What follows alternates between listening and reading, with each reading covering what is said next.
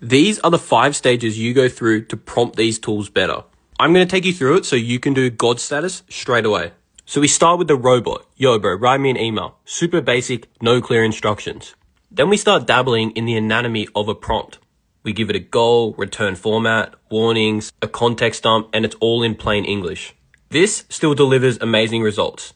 But now you want to level up. You want to get the most out of these LLM models.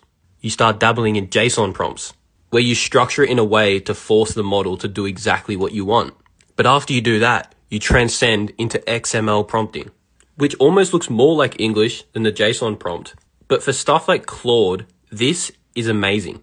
It will change your life when you start doing XML prompting. But then you want to reach God status. You create a Claude project or custom GPT where you prompt the prompter to write you prompts. Yes, I know you feel like this right now, but it's super simple. We just add a bunch of context on prompt engineering posted by Anthropic, OpenAI, and Gemini, and you come into this project and ask it to write you prompts or make your prompts better and return it in XML format. And trust me, it will make prompting so much better.